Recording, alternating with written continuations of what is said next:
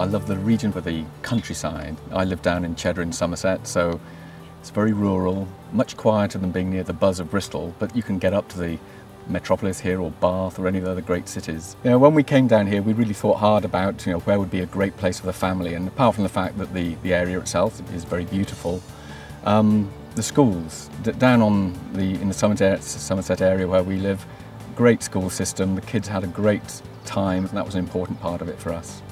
So my passion is all about sustainability, partly because it's a big issue, but partly being a technologist, I like to see how you can bring technology to bear.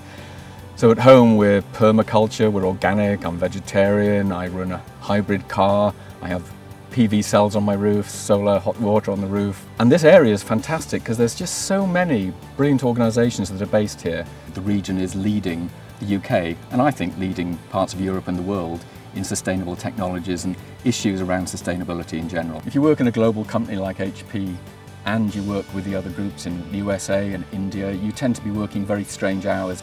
Personal time counts a lot, so then you know everything from the drive home through the beautiful countryside when you can wind down, now I'm trying to use the train and cycle, which gets me a little bit fit. And that takes you back into the countryside in Somerset, which for me balances technology and the pace of business life with the relaxation of just being in a natural environment, which is very important.